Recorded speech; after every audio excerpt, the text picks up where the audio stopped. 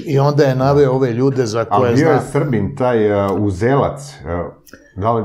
Bio je i neki Srbin, da. Je, uh, Njega nisu Uglje- pominjali u policiji. Ja mislim Uglješa da se zvao. Tada gradonačelnik Sarajeva. Kad je bila olimpijada, da. Da, A- tako a nekako. je- jeste. Ima ga na internetu, pa sam Da. zaboravio. Ali ovaj, šta je interesantno, uh, olimpijske igre u Sarajevu, Pa da, uh, sastanak taj, uh, takođe uh, i Orwell, isto koji pominjao tu godinu, O, e pa to je interesantno da je baš ta godina o, izabrana, ali dosta stvari e, se radi po određenim e, datumima. To je, to je tako od uvek.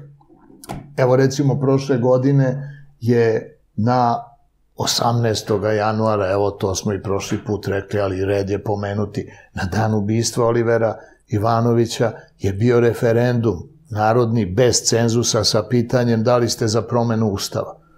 I ustav je promenjen kako? pa gde je taj novi ustav?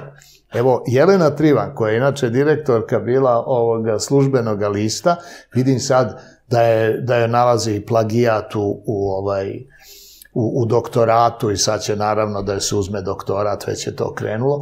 Međutim, moje pitanje, ona službeni list objavljuje informaciju, službeni list je zvanično mora da štampa novi ustav. Pa je štampan?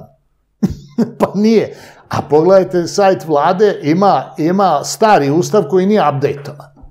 A Čekajte, nije updateovan od januara, a promene ustava su ratifikovane u Skupštini pre raspuštanja, posle čega su bili izbori. A između toga je Ana Brnavić išla da potpiše ovaj, uzajamno priznanje i sve ono što se sad sprovodi u vezi Kosova. Znači, sve je završeno prošle godine, implementacija je počela u decembru kad su svi razoružani Srbi, tako da je omogućeno. Kad vi razoružate srpsku policiju, vi znači omogućavate Albancima da lagano, prvo preko izbora, a posle sad ovi gradonačelnici albanski koji su izabrani, će da postave nove šefove policije, tako da, to je normalno.